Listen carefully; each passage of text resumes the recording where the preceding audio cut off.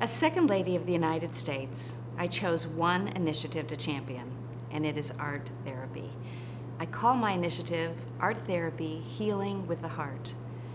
Art therapy, according to the American Art Therapy Association, is an integrative mental health and human services profession that enriches the lives of individuals, families, and communities through active art making, creative process, applied psychological theory, and human experience within a psychotherapeutic relationship.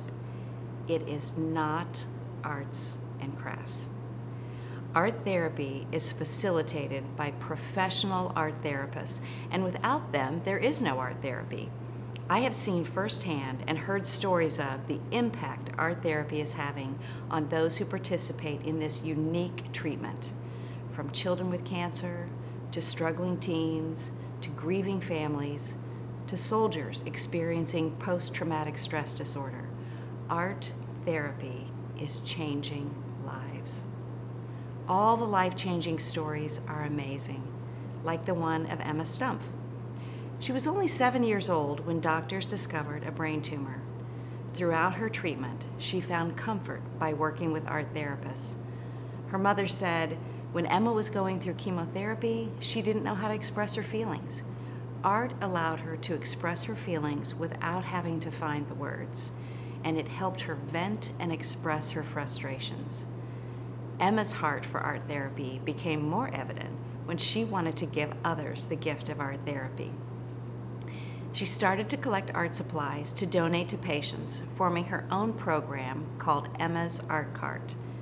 Emma is now a teenager, and her program has gained national recognition, earning her the Jefferson Award. The fascinating thing is that it is the art therapy process that actually changes our brains. Right now, research is underway, including at the National Intrepid Center of Excellence, also known as NICoE, at the Walter Reed National Military Medical Center in Bethesda, Maryland. They're using a machine called the MEG scanner to take images of the brain's changing electrical and other critical signals, which produces a map of the brain function. This allows researchers to look at what is going on not only when the patient is at rest, but when they are undergoing art or music therapy. By making art therapy my initiative, I have three goals. First, I want to elevate the profession so that people understand that art therapy is a disciplined career that requires at minimum a master's degree and is not arts and crafts. Second, I want to help people understand that art therapy is an option for various conditions, for illnesses, life experiences, for anybody really. And third, I want to encourage more young people to go into this profession.